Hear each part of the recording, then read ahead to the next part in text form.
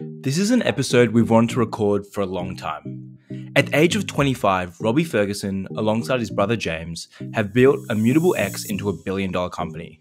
Robbie is a prolific thinker, and this week we spoke about his drivers, debated the case for Web3, and explored his leadership lessons. We came away from this episode massively inspired, and we hope you do too. Enjoy the episode. And we're live. Hello and welcome back to the Satch and Adam show. So, on this very fine Tuesday night, we're very privileged to be joined in our Darlinghurst um, podcast studio with the one and only Robbie Ferguson. I'm insanely excited for today. Robbie Ferguson is the co founder of Immutable, which is one of the biggest Web3 crypto gaming startups in the world and also one of the fastest companies in Australia to reach a billion dollar valuation. So if you've been living under a rock, Immutable is currently valued at 2.5 billion, I think it is. And just earlier this year, they raised 200 million dollars. Robbie's done a bunch of different stuff before. He's been a Thiel fellow. He dropped out of comp sci and uh, law. And we're really keen to dig in today a little bit about him, but also about Immutable, the Web3 movement, and have a little bit of sparring about everything that's happening in the crypto world. So thanks a lot for coming on today. Awesome. Thanks for having me, guys. And so, Robbie, we start. We like to start off our podcast by kind of humanizing our guests a little bit because a lot of people who are watching this think Robbie, twenty five, founder of a billion dollar company with his brother. That's you know, I'd never be like that. So, we'd love to kind of try and ask you, who are you at your core? What what drives you at your core outside of Immutable, outside of all this hype around the last couple of years? Yeah. Uh, so there's probably a few answers to this question. I'd say first, I am pretty similar at work to what I am in my personal life. Uh, I would say the main difference is my fundamental goal at work is how do I contribute as effectively as possible. Um, you know, my, my fundamental goal in, in my personal life is um, going to be many different things, many of which is, is sort of relationship driven and, and sort of, you know, friendship driven. Um, I'm definitely 100% extroverted, so I draw oh. a lot of my energy from from being around people. Uh, I would say I'm pretty nerdy. Uh, so if you like my, my big life mission is some but incrementally help the world to move towards uh, you know post economic scarcity and sort of a, a, a, utopian civilization. I think there's a few key levers to get there. I think crypto is a major one. Uh, at its sort of best, it is essentially a new incentive structure for the world. And the only thing that's really going to move humanity towards uh, a better place or ever has has been the right incentive structures paired with progress. Because progress without the right incentives leads to inequality, leads to uh, apps that optimize for retention based on you know essentially damaging um, human experiences. And uh, the other thing I'd say is uh, I'm an extremely passionate but terrible um, athlete. So I love exercise. Um, I'm I'm really bad at it. I've just picked up boxing. Um, I do a bunch of weightlifting. I'm not particularly good at any of it, but I find it's the number one thing that keeps me sane. Um, so yeah, look, definitely a normal, uh, a normal person, um, and just trying to, I think, focus on where I can make the biggest leverage differences. Um, yeah. Awesome. That was a really interesting spiel. On the exercise point, I'm pretty sure I saw an Instagram story of you this morning going for a run in flip flops or wearing slides, which is interesting choice. Yeah, that probably wasn't a run as much as it was a Okay, I hope not. I hope yeah. not. So, in preparation for this podcast, we've obviously done research on you and talked to a few people that know you, and we've heard some different anecdotes. Some of them include you were really good at debating, you loved games like RuneScape, League of Legends, yep. two of my favorite games, also really academic kid. So, there's a bunch of interesting different things there.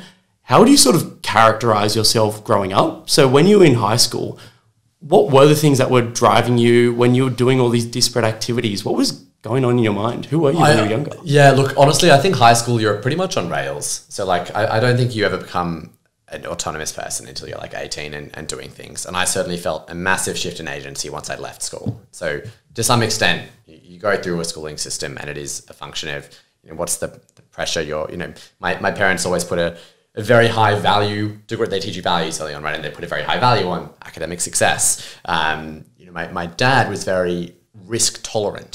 Uh, and so he put a very high value on going and doing crazy stuff. And I, I remember when I first told him the idea of like, hey, we're going to go and build um, this, this NFT infrastructure platform And he said, well, you know, that's cool, but like it'd be way cooler if you were building a, a sovereign nation on like, you know, a, a seasteading. So like he's always been quite radical. I think it's very helpful for removing some of the boundaries that you need to if you're going to take risks and, and approach things. Um, but yeah, look, I, I love debating at school. I was a very, very nerdy kid. I love maths, um, English, uh, you know, your, your standard kind of um, nerdy Sydney high schooler. Uh, I think there were lots of learnings from that. I think debating was probably the best thing I did uh, in terms of helping me do what I do today. Interestingly, not for the reasons you think. In fact, actively, it feeds into a lot of how I try and run things at business into you know, opinions shouldn't matter that much because people will have different levels of ability to argue things. What should really matter is data driven culture and how you make decisions in a very structured manner and allowing everyone to have objective views that are assessed in the same way. Where it is really helpful is, you know, being persuasive and convincing and helping people join the mission, I think. And that's an invaluable skill that school will not by default teach you. So if I ever see someone going through the schooling system, I say the number one thing you should do is pick up debating because it just teaches you how to think, how to argue, and how to be persuasive. Probably most importantly than than the other two. Uh, and the other thing was I was incredibly unfit. I was completely non-athletic at school. Debating was my sport, I believe. Um, and I think that was actually a really sad thing, is how we've kind of, to some extent, dichotomized you know, being nerdy and, and being sporty. I think they should absolutely be combined. I think performance is best often when it's combined. Um, and I know my life personally is a lot better now that I have sort of that as a regular regimen. Yeah, that's super interesting. It seems like you're intellectually fit though, which is which is pretty important. And Robbie, since these last kind of couple of years have been pretty crazy for you with Immutable and all the publicity and stuff like that. And for someone that's probably still in your 20s, it must have been a big change. I'm really curious to hear if your friends would have described that the fame or the success has changed you in any way. And how do you think that's changed your lifestyle, the way you live? I am definitely not famous. Uh, like de- definitely, I'm not saying that. no, no one I've seen your Twitter profile. yeah, look, and and you, you haven't. You realize I'm not right. It's not. It's not that many followers. I think it's enough to have influence within a sphere. Um, even people who are actually business famous are not famous. Yeah. Um, so it's very different to, I think, celebrity or celebrity fame. Yeah. Um, it's not something that I think I would be overly keen on pursuing. I'd be much more interested in having an impact than than um, achieving that. I think it's this interesting double edged sword where it is so powerful to have a platform, particularly because many of the people in crypto who have a platform are not always the best representatives of crypto. Yep. You know, they're either kind of pretty shilly or they end up being disgraced, as is pretty much every main character in, in crypto Twitter to date. Um, yeah. So it's sort of a lot of libertarians there. Yeah, yeah, exactly. Um, so yeah, I don't think it would have uh, changed me too much. I try and stay pretty much the same in habits, routines. Um, you know, I think I, I kind of keep all the same friends. Um, Something else you did when you were younger is that you went and did computer science and law at Sydney Uni. For most young, sort of nerdy people, that would seem like the degree to do. Like that is the dream. You ended up dropping out and you did the Thiel fellowship instead.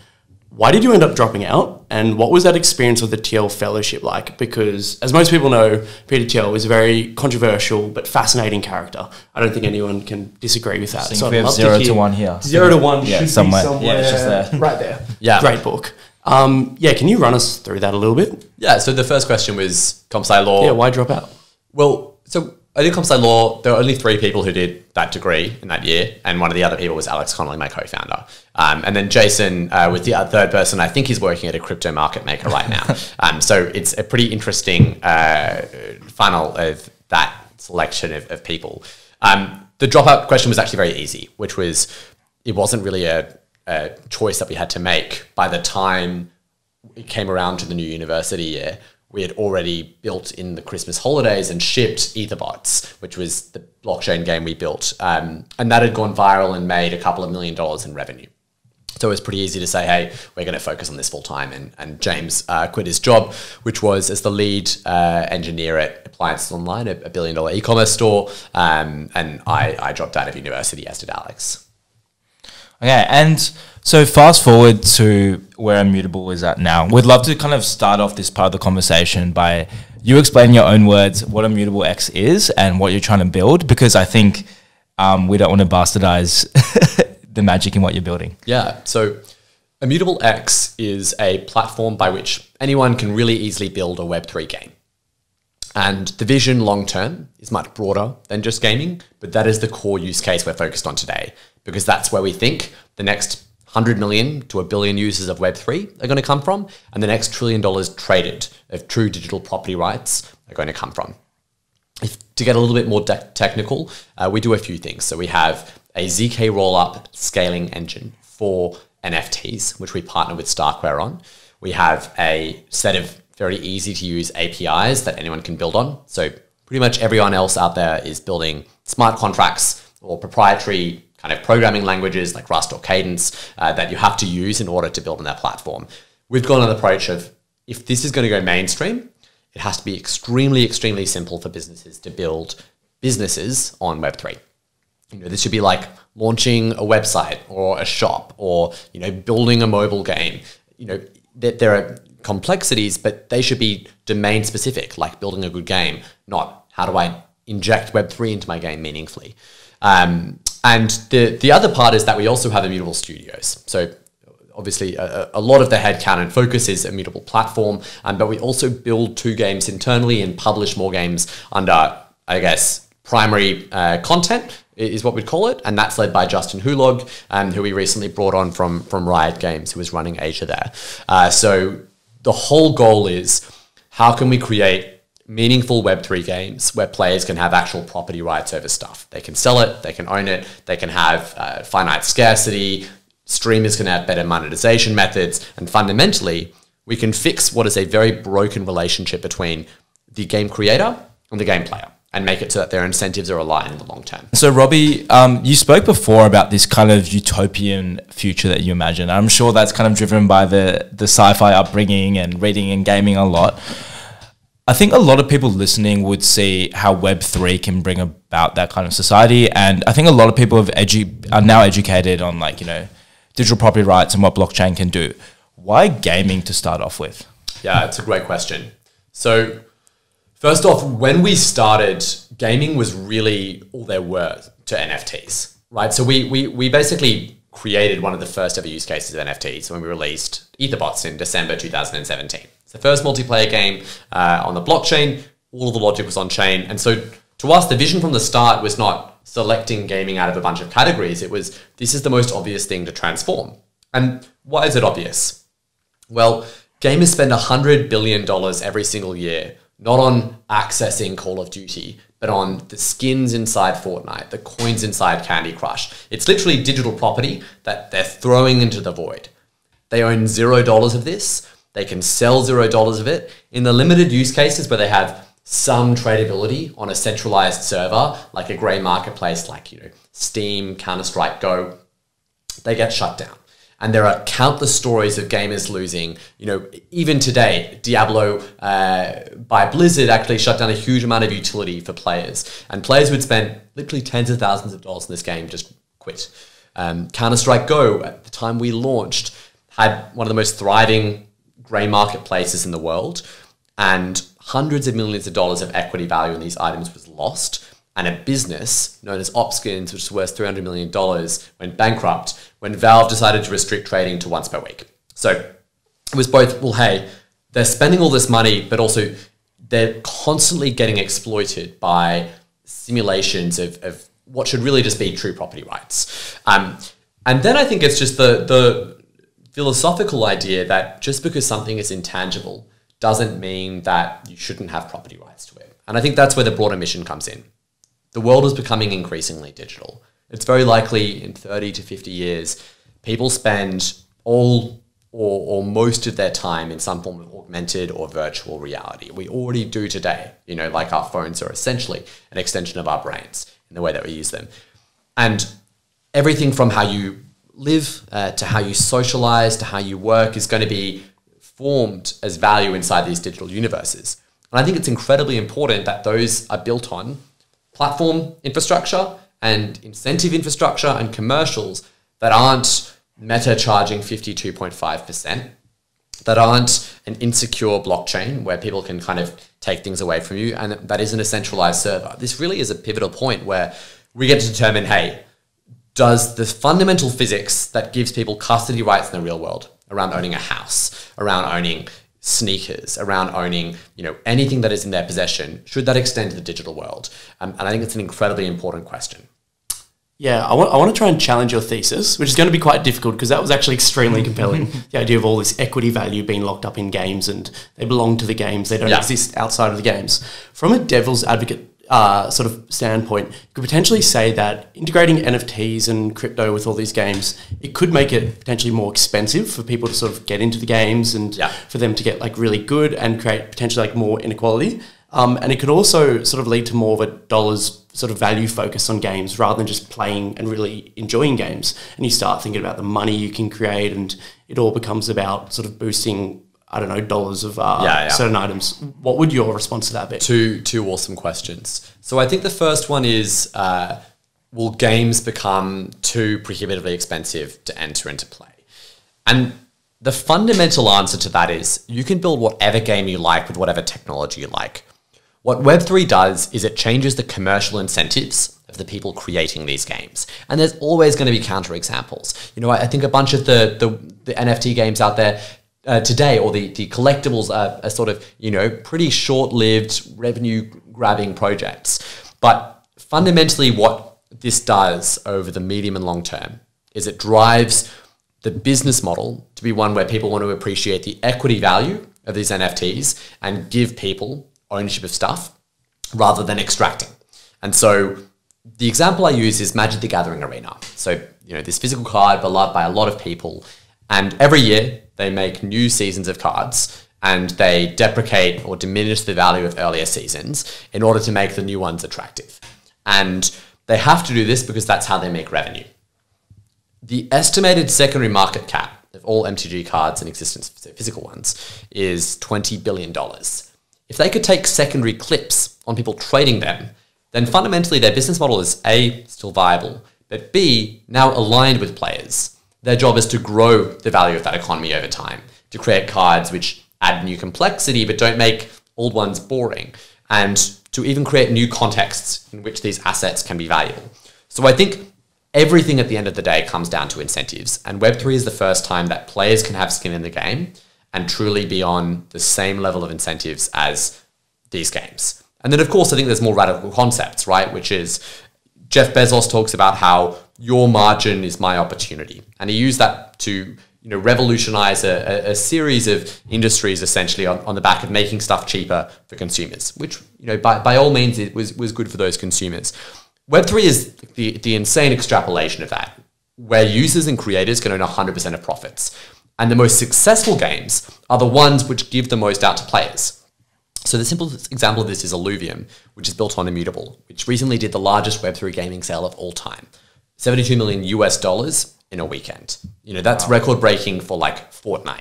Yeah. Who, who hasn't achieved those stats? Well, what is what's the game like? Like Yeah, well, it's it's three games. Okay. So it's it's both a auto battler. Yeah. It's a, a RPG where you can kind of collect Pokemon. Yeah. Um, and it, there's also like a, a much bigger vision game, but they're kind of staging the approach. Yeah. Okay. Um, they have, I think, over 200 full-time employees. There's a bunch of them in Sydney. Um, so it's, I mean, it's a it's a very very credible project. 100% of the revenue from any sales of Illuvium, not even profit revenue, goes to every token holder at ILV. And so I think that's the, the kind of new model that this stuff can exist as. And then I think there's the simpler side and probably the less complex side, which is just like players don't necessarily have to make money off this stuff. It's just about instead of you playing Hearthstone for two years and sinking thousands of dollars into cards and you having nothing to show, instead there's an economy where you have value at the end of the day. And there are new, you know, emergent kind of market opportunities and business opportunities for that. But all the same principles around making it as accessible as possible will still apply because you still want to get people into your game. You still want to give them value. So the third, and I realize this is a long answer, but there's actually quite a lot of um, detailed reasons as to why Web3 at multiple layers will, will ultimately produce pro player games. And the third answer is if you look at the natural trend of gaming over the past two decades, it's gone from, hey, I like Call of Duty Modern Warfare 2 for 80 bucks to, hey, I play a free to play game where I monetize via in game transactions. And by the way, free to play was an incredibly controversial move when it came out. And we're now at the point where two games in China will compete that are complete clones of each other on the basis of who can sell cheaper in-game transactions. So they say my Clash Royale clone has you know cheaper skins than the other one. The natural extrapolation of this is in order to attract users, you have to give value, not just make your in-game transactions cheaper. And so, you know, this ridiculous kind of uh, pr- process is fully transformed by a process where instead you're just giving players value. You're taking the billion dollars you're spending on Google Ads and you're using it to back an economy where players can receive assets from playing the game, from sharing the game, and that is the method by which you grow. It's your viral coefficient, it's your retention increases, um, and I think we've seen this. Like you know, Pokemon Go, which is one of the most profitable games of all time, was basically all word of mouth. There was almost zero performance marketing on that. And now Web3 is enabling games to compete with giant budgets because they can give players skin in the game and incentives to share beyond just what they can kind of put up front from a AAA budget. Yeah, it seems like there's obviously so many great incentives and aspects of blockchain and Web3 gaming. But at the moment, there's a huge tension, especially an argument that's happening on Twitter. You sort of got the crypto fanatics and nerds on one side, which is still very long term bullish. They're never sort of deviating from what they believe. And then you've got a lot of people that have become really skeptical with a lot of crashes, some frauds, um, not seen as many sort of valuable use cases in Yeah. Web3. So let's say that you sort of took the opinion of you're actually a Web3 skeptic. Let's say in five years' time, Web3 it's no longer a thing. Um, nobody believes in it. There's no sort of use cases being built on it. Why do you think? What do you think will be the reason if Web3 does fail as a concept? Let's say it's not deterministic, but it does fail. Nobody believes in it. What's the biggest reason why it would fail? Um, I mean, regulation is definitely an existential risk at some levels uh, in the short run. I, I think Web3 is pretty inevitable in the long run, um, mainly because I think it will create cheaper prices uh, for stuff, and cheaper prices always wins. Um, so, like, if you look at tradable assets, NFTs are by far a superior standard to trade this stuff, particularly when you consider that an NFT is not just the ability to have digital property rights. That's actually a very thin reason of why stuff will be tokenized. It is a liquidity premium and a utility premium. And what do I mean by this? How much would you spend on a house in an economy where there was one mortgage provider and they charged interest rates of fixed 20% per annum? housing demand would be vastly diminished, right? Because the surrounding financial services, which enable primary demand, are not mature. DeFi is building the largest honeypot of the most competitive set of financial services ever created.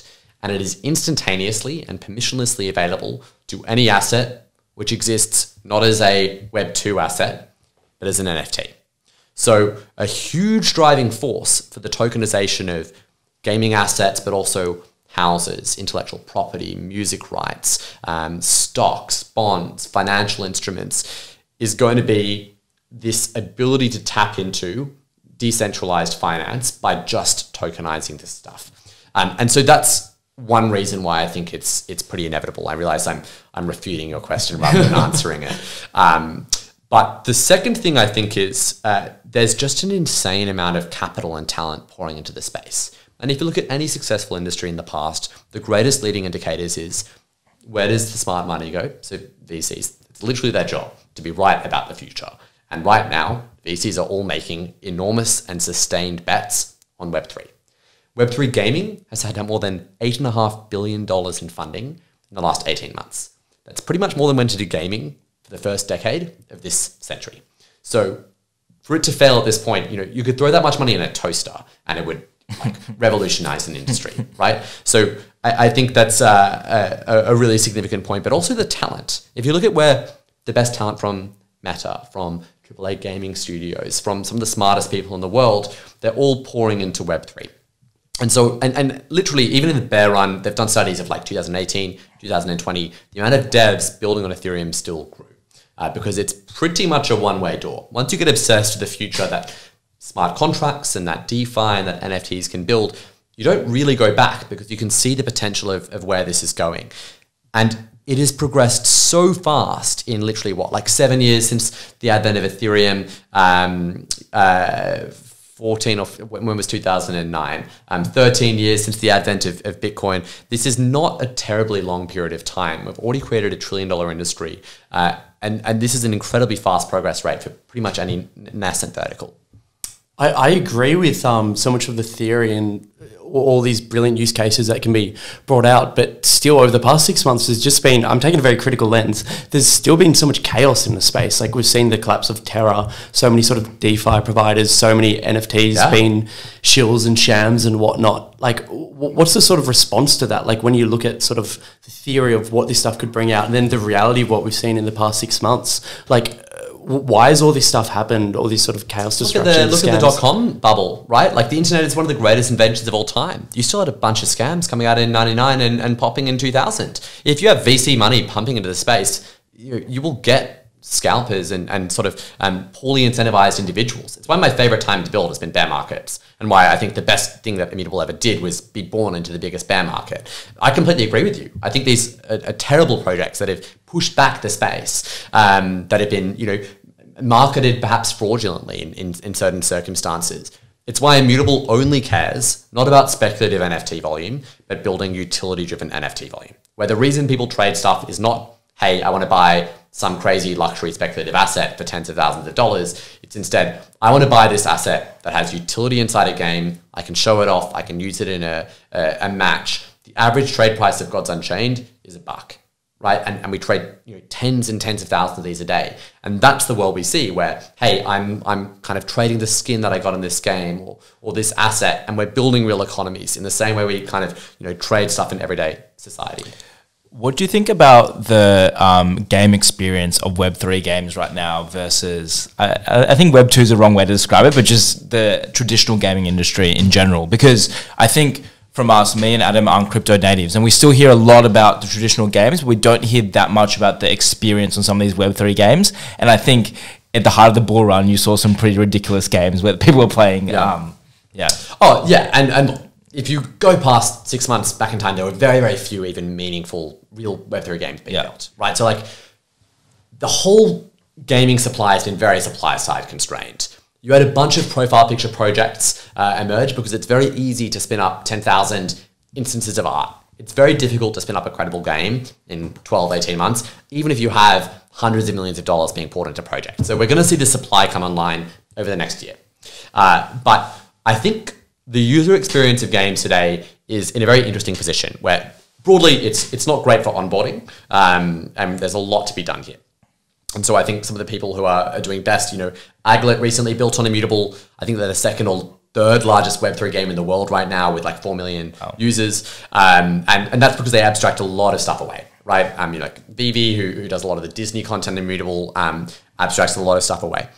Uh, where I think we need to get to is we play a game has 100 million users and none of them know what the Web3 is under the surface, or like 1%. It's like people who are understanding, I don't know, how HTTPS works, or, or some like complex, um, how, how Unreal Engine works in the game that they're playing, right? It's like, sure, like you can check it out, but the value is the value you're experiencing as an end user. And that's where we have to get to. By the same token, we've also had games which, by leveraging Web3, despite all of the uh, massive friction that crypto onboarding has had, has been able to onboard, you know, people faster and, and with more viral coefficients and, and with more raving evangelism than any game before in history. I mean, look at the the sort of um, short-lived success of Axie Infinity as they they grew to kind of monumental heights. And I think that's because you have the most powerful incentive and user acquisition tool ever generated, which is tokens. It's like giving everyone equity in your company, but you can do it to billions of people. You can do it programmatically and scalably. And that is why I'm fundamentally bullish on Web3. Over time, fees on everything go to an equilibrium of zero, unless you have some inefficiency in a system. And now we're able to build protocols and systems for things where everyone can be a part of it. Like the reason I fell in love with Ethereum is I read the white paper and they talked about a decentralized Uber where fees could be incredibly low and everyone who is part of this partner network could be like owning shares in this Uber protocol. We haven't seen that happen in the real world because there's, there's a big gap for that stuff to happen. We have, though, seen the same happen for DAOs and financial infrastructure beyond what anyone imagined could be possible. So I think that's why I'm so uh, fundamentally bullish. I want to touch on NFTs just for a moment. So, like, what Immutable is doing is gaming NFTs. One of the reasons that makes a lot of sense to me is that it's a lot, probably a lot harder to copy a gaming NFT than a standard NFT. If I've got like a Bored Ape Yacht Club, you can sort of create a screenshot and be like, I copied that. It'd be a lot harder for gaming one. So, are you equally as bullish for just like sort of normal NFTs, ones that are pictures? And what would be your sort of like uh, play back to someone that's saying I can just copy that, screenshot it? Like, what's the sort of value in that? Yeah, well, I mean, this one's been tried. This is a, a, a debate which has been had a lot, uh, which is, I, I think, had a pretty conclusive answer, which is digital art is superior to real art. I mean, I can create a copy of an artwork. I can create a copy of the Mona Lisa. It's not valuable. Uh, maybe it's worth 10 grand. Maybe it's worth its value as a fraud. Um, but the real value is in I can prove ownership and I can show it off as a method of status. And Web3 is clearly superior for this because now you don't just show it in your home or museum, you can show it on the internet for hundreds of millions of people to watch. You can have it be turned into skins and derivative products. You can have intellectual property rights. I mean, I think Bored Apes has actually been incredibly pioneering and, and is creating like this this brand new, um, essentially lifestyle brand and set of incentives around an autonomous brand that's going to grow over time. Now, there's lots of execution. Uh, you, you've still got to solve execution. I think where DAOs have really struggled is on proving that governance is a good way of actually executing against a strategic plan. Um, I think where it's been mostly used as, as a form of regulatory arbitrage um, in order to kind of you know avoid being an actual company. Um, but over time, that will be solved, and they will become an exceptional form of governance, and uh, businesses will become more and more modular, um, and they'll all be interacting with each other as as Lego pieces. I think a lot of my long term views is, if anyone has read it, informed by Accelerando, um, which is a reasonably well written book, but basically the, the entire back end of the society operates in, in how I think smart contracts will be operated one day. Um, so, yeah, pretty bullish on that. Did that answer the question? Yes. Yeah. Absolutely. And I think a question a lot of our audience will have is around the ETH merge, and I feel like that's happening in a few months. I think John gave me the date before. And one of your value props of Immutable is um, zero knowledge rollup, and obviously kind of combating some of the issues with ETH as a layer one, Yeah. the gas fees that I think a lot of our crypto native audience will know about. Um, how's Immutable going to change with, with the ETH merge? Is there any strategic plan around that? Yeah, there's not really much we need to do with the merge. Yeah. Um, there's obviously sequence stages after that, which will have different impacts on Ethereum. The merge main impact, when impact scale, it'll just basically reduce issuance of Ethereum and improve the security of Ethereum. Yeah. And the way it will do that will be through twofold. One, we're switching from uh, a proof of work to proof of stake. So instead of miners uh, spending a bunch of energy performing arbitrary math calculations to secure the network, instead it will be people staking. So saying, hey, based on the amount of Ethereum that I own, I'm guaranteeing some outcome. And if they lie, they get penalized. And that will make it A, more secure. So right now, proof of work for Ethereum is incredibly secure. It's very, very expensive to attack, but state actors could do it. China could absolutely do it if they wanted to. And this will move it to a stage where that pretty much will be infeasible, even for the largest state actors in the world. Uh, the second thing it's going to do is it's going to make Ethereum effectively permanently deflationary. So right now you have uh, over 10,000 Ethereum being created every day as a reward purely to incentivize miners. You also have around 1,600 being paid out as, as sort of staking rewards, which is what it's only going to be the remaining reward when we switch to um, post merge. So issuance is going to be reduced by roughly 90%. Excuse me. And finally, the whole thing's going to become carbon uh, very minimal. So Ethereum will become 99.9% more carbon efficient, and that's because we no longer have a bunch of GPUs, you know, just using an absurd amount of electricity um, every day, which is awesome. Immutable is, is completely carbon neutral, um, so we think that's incredibly important for brands. But the scale is still going to be effectively five NFT transactions per second, 15 ERC20 transactions per second. Um, and even at the scale that we're conducting today, which is around 10,000 TPS, it's not enough for what these games are going to want to do, which is why we're building our cross roll up liquidity platform, which means you can have hundreds of L2s or L3s, all connected by no trusted bridges, uh, but a completely decentralized way where all of your users, funds, and liquidity can be kind of pulled across any one of these. So you could be on the existing L2, you could have your funds, and you could buy something on you know, the dedicated Fortnite layer three that comes out. And there's no loss of liquidity, no loss of user funds, and no loss of security. The reason this is so significant is the only reason to invent a new layer one is to improve scale. And they have to always bootstrap an ecosystem from scratch. That's why and Aptos and all these new L1s have to raise buckets of cash from VCs and then go through the whole process of cloning the DeFi efforts of Ethereum and then go through the process of, you know, in some cases simulating a, an active ecosystem if you saw some of the news recently. And this whole like you know gibberish is going to go away because we don't have to compromise on uh, the network effects of this. They'll be unified, but we can build scale composably across many L2s and L3s. This is why Vitalik has been talking about solving cross roll up liquidity is one of the key solutions that we need to do um, over the last two years. And, and, and this is, you know, Immutable is, is going to be the first to market with an answer to it. That's fascinating. For all of our blockchain experts out there, that was a brilliant spiel. Now, I'd love to get on to the topic of company building because obviously, being in crypto and Web3, you've been building this company that's reached like 250 staff. You've raised hundreds of millions of dollars. Um, I'd love to first sort of We're, ask you we're 300 now, actually. 300? Yeah. That's massive. That's massive. I'd love to hear about the differences of experiences because once you're with uh, two other co-founders building this together, then sort of 20 people, now 300. How's that experience changed? Like, what's it been like when you went from like sub 20 to now 300? I mean, it's completely different. Um, you have to learn how to operate with a different level of leverage at each level, and the activities you do are fundamentally different. The only thing that has been the reason we've been able to do it is probably books and coaching. Uh, just constantly learning, okay, what is the job now?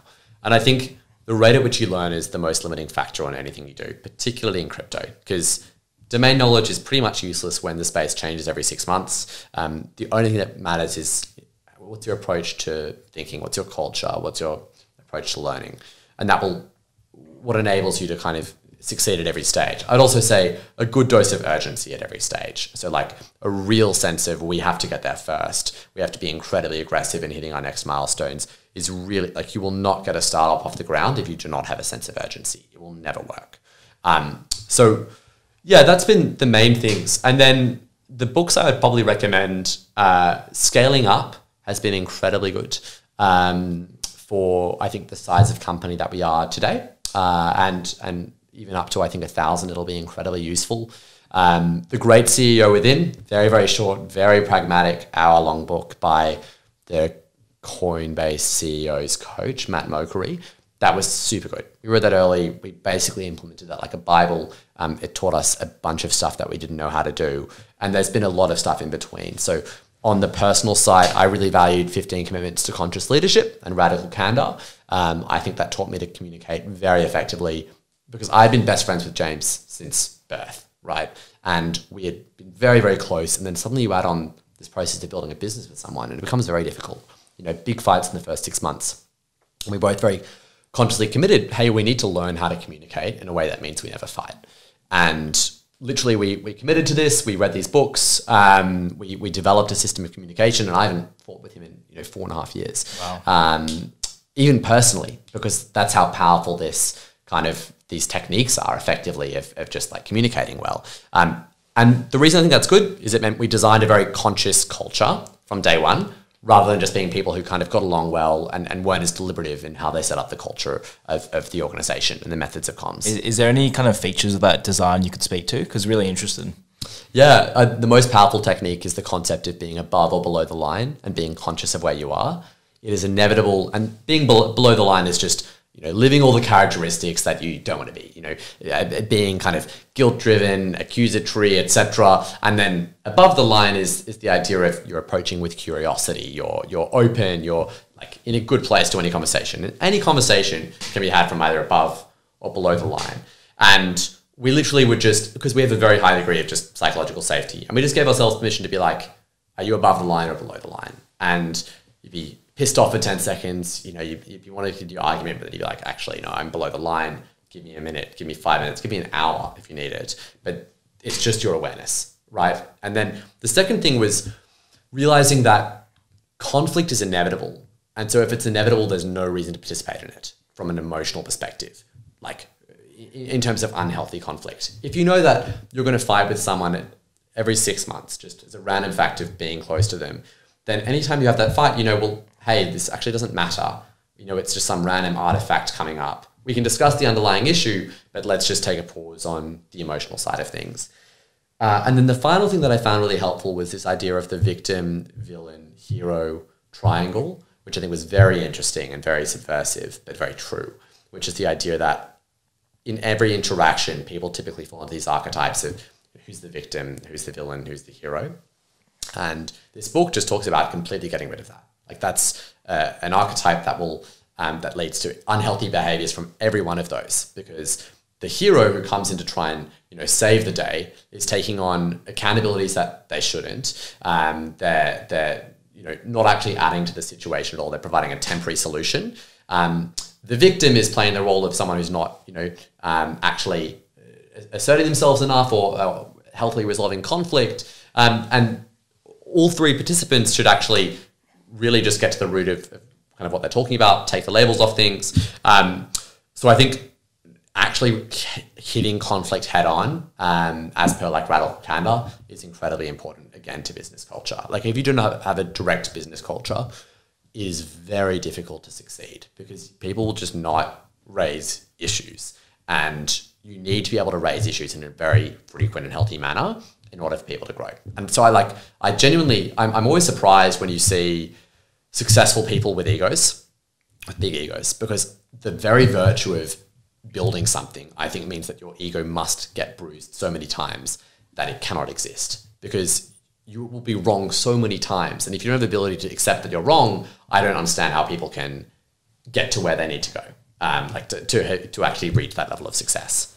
Yeah, it's funny. It seems like the biggest entrepreneurs, at the same time as having no ego, they also have a massive ego. And I think it looks like those entrepreneurs they're extremely confident. They can be very sort of abrasive but at the same time they I do think they need I think they need conviction. Yeah. yeah conviction hyper conviction um, something i wanted to ask at the beginning of the podcast i'd love to sort of understand your emotional experience of starting a company. So like on a day-to-day week to week like you're 25 you're doing like the most stressful thing you can be doing. You must be working around the clock. Wh- how do you feel day to day? Like, is it like, are you always constantly pumped and motivated and just going towards this mission? Are you nervous, anxious, stressed? Like, what's the actual emotional understanding of how you feel? Yeah, I think not that stressed. Um, my bar for getting stressed is pretty high.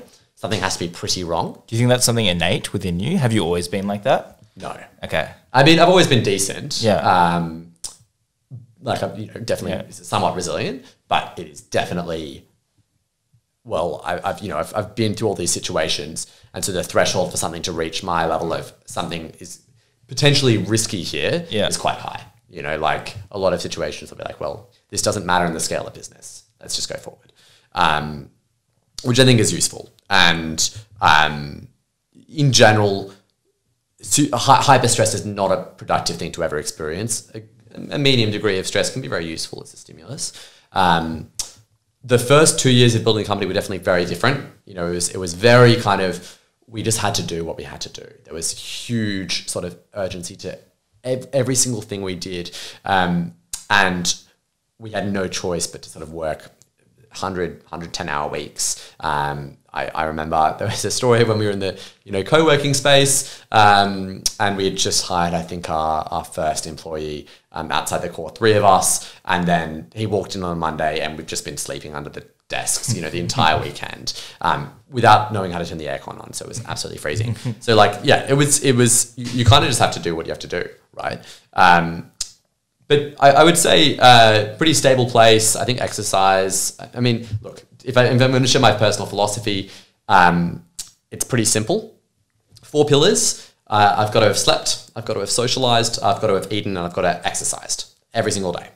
And if I haven't hit, if I'm feeling bad or I'm not feeling great, and I go through one of these four things and they're not present, I don't let my I discredit whatever narrative my brain is generating. So my brain will be like, "Oh, it's because of this. Oh, it's because you did this." You know. And then if you go through those and you're like, "Well, actually no, a fundamental need that I've recognized is fundamental to me being happy is missing." And if that's missing, your brain will generate narratives as to why you're feeling not good. But like that's the most powerful technique that I've personally found because it's just a really basic checklist of like get yourself on, on track. And if those four things are hit, you know, I'm I'm generally pretty much always pretty happy and stable. Yeah, that's fascinating. So then, kind of going along with that train of thought, how did you feel day to day in that two years, um, sleeping under desk, etc., etc., and what, and what were the things that got you through? Oh, definitely the team. It's pretty Yeah. exhilarating. Yeah. Um, I mean, look, I, I enjoyed parts of it. It's also incredibly stressful. Yeah. Um, mainly because we're building on such experimental technology, right? So, like, there was a you know a time where we're working on um, a, a, a way to try and transfer information from one smart contract to another, um, and we it turns out actually that the code necessary to do this was in a low level documentation that was only marked in one place on GitHub as a comment. Um, and actually, the alignment of variables in a stack have to be aligned between the two, which is like very unusual for like a high level language like Solidity to have that feature associated with a function. And we just had to do this without sleeping. Like it was so time sensitive that we stayed up for more than 70 hours um, in order to get this done. And so like it, was things like that. I think that were, um, know, they're pretty taxing. Uh, I, I, I definitely try and avoid all nighters as much as possible. And I think at this level, if you're doing that, you're, you something's wrong with your organization, right? Yeah. Like you should be at a very different level of leverage. The issues you deal with as urgent should be very different.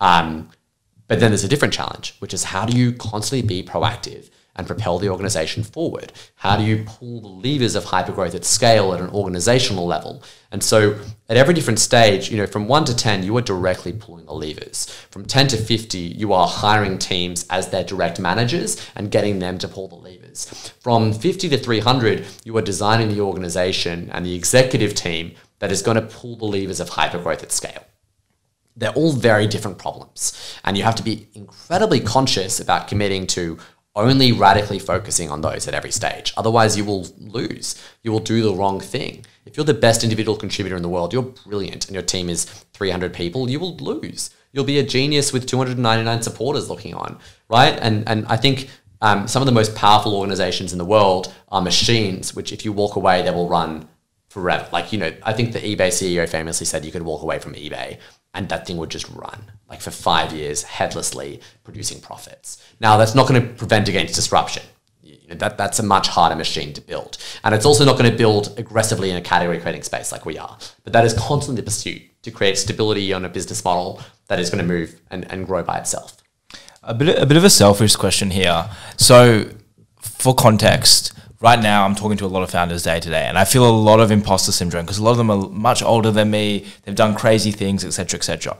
Now, if I think through for you, you put, you've recruited so much incredible talent. Um, you know, you're managing all these really, really large teams. Did the imposter syndrome ever creep through about being 25 and doing all these kinds of stuff, or is that something you just haven't really thought about? Yeah, always. I think there's always imposter syndrome. Um, but I think you build a great team around you, right? So like I'm I'm not doing everything. We've got an incredible executive team. And investors don't, you know, just look at me. They look at the, the in Yeah. particular the executive team and the caliber of that team um, at this level of scale and, and the caliber of your operations.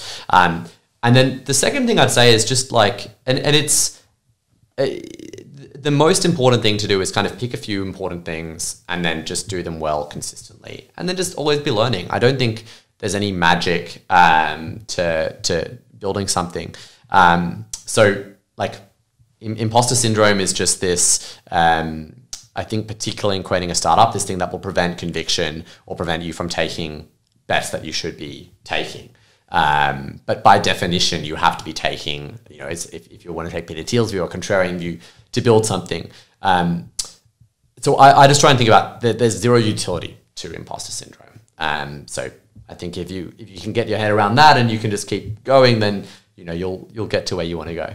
Yeah, makes a lot of sense. Awesome way to frame it. Yeah. Well, that's been um, an excellent discussion. Should we go into the quick fire questions? Yeah, let's do it. Yeah. So one thing we do at the end of each episode is that we ask you a few rapid fire questions. Sure. I'm going to do the first three. Satch will do the second three. You ready for that? Yes. Cool.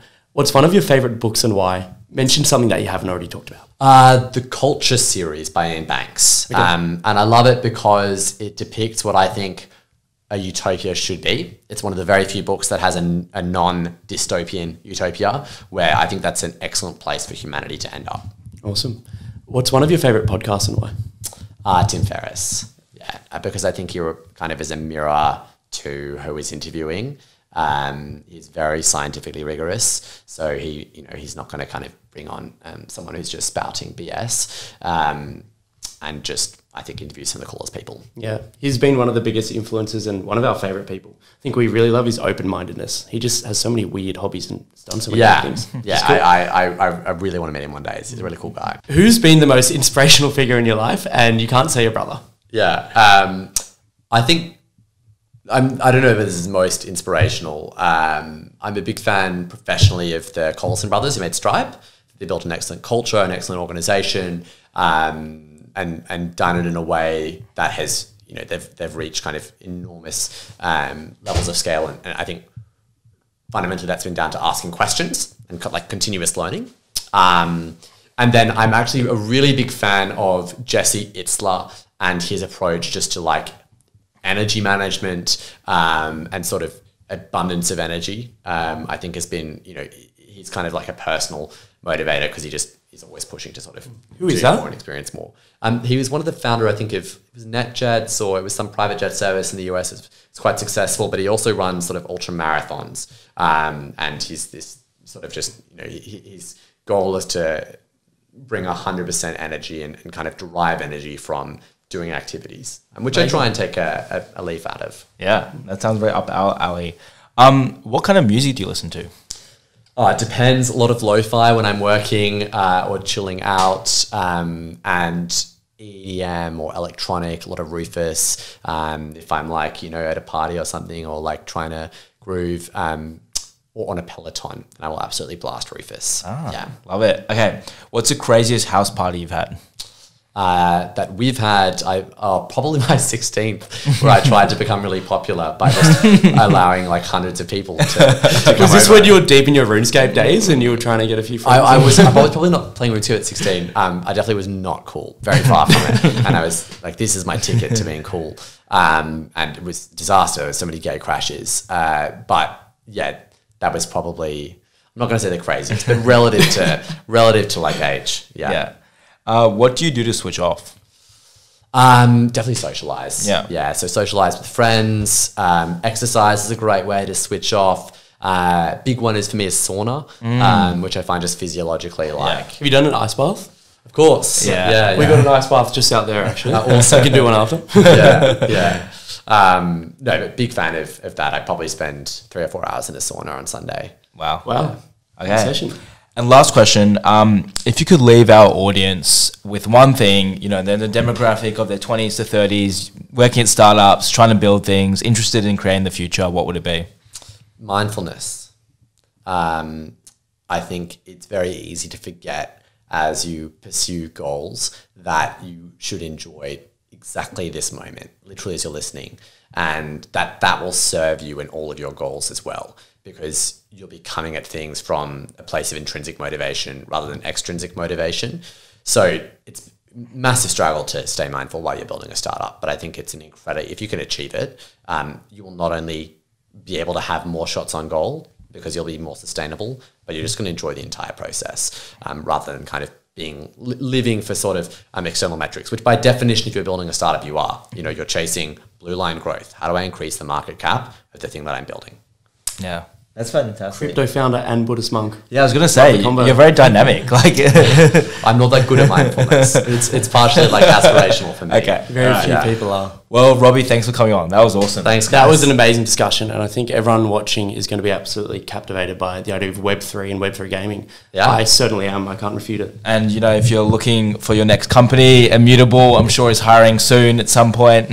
We're hiring now. Okay. We have 60 open roles. Wow. That's huge. Yeah. And yeah, to the audience, probably have the most brilliant people out of any company that's in a couple hundred people in Australia, like the people we know. Yeah. Just product engineers, all brilliant people. Highly recommend looking at the high company. bar. Awesome. Thanks, guys.